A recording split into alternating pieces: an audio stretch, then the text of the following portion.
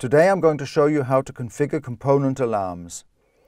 To do this, click on Alarm Management and then on Alarm Settings Components. In order to add a new alarm group, right-click in the field, then on Insert into New Group. First name the alarm group.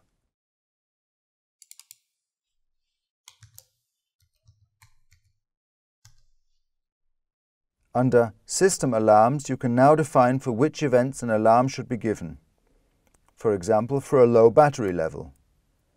Under Alarm Conditions, you set the time delay after which acknowledged alarms are re-triggered. Under Alarm Output Saveris Base, you define how the base notifies you in case of alarm. Once you've entered all alarm settings, you click on Apply Settings.